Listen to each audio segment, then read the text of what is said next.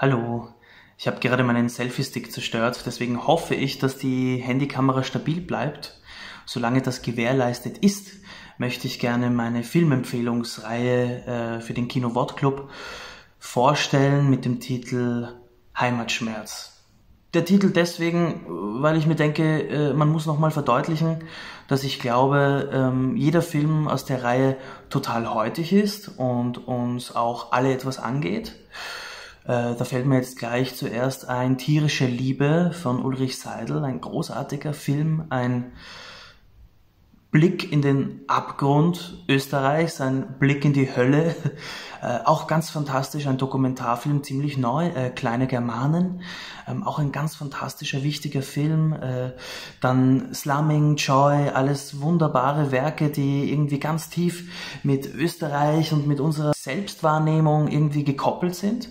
Und dann schlussendlich natürlich auch noch Der Taucher, ein Film, der 2019 erschienen ist, Dafür habe ich ein halbes Jahr trainiert. Ähm, dementsprechend hat er auch in die Reihe von Heimatschmerz gefunden.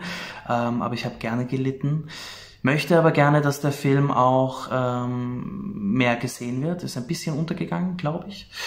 Und das Beste an der ganzen Sache ist, wenn man sich hier jetzt einen Film aussucht bei Kino Wort Club, dass ein Drittel der Einnahmen direkt an ein Kino gehen äh, eurer Wahl. Das heißt, ihr könnt euch äh, ein Kino aussuchen, wenn ihr einen Film ausleihen wollt und ein Drittel ähm, der Leihgebühr geht direkt an das Kino. Ihr wisst ja, die Kinos sind jetzt mindestens bis 7. Jänner geschlossen. Ich denke mal wahrscheinlich danach auch vielleicht, hoffentlich nicht zu lange, I don't know. Äh, jedenfalls denke ich, ist das eine ganz gute Sache. Ja, und ich wünsche euch sehr viel Spaß mit dem Film.